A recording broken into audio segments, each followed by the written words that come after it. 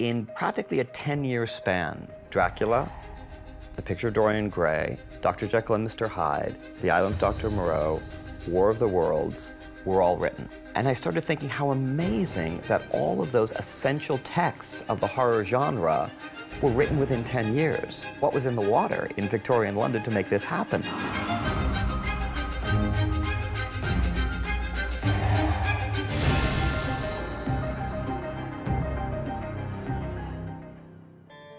Ten years ago, I just happened to read Frankenstein. It was very moving to me. And I thought, well, the next logical place to go is Dracula. I was just fascinated by why were these two books so important to me and to so many other people. There had to be a reason. Horror is about trying to codify anxiety, trying to name and understand those things we fear.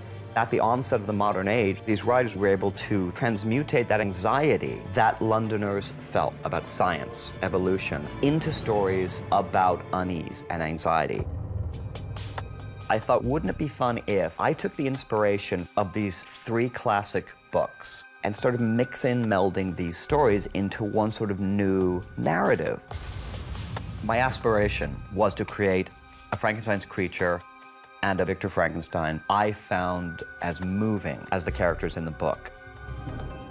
The characters from Dracula are vaguely familiar, although they have a certain theatricality to them that is our own creation.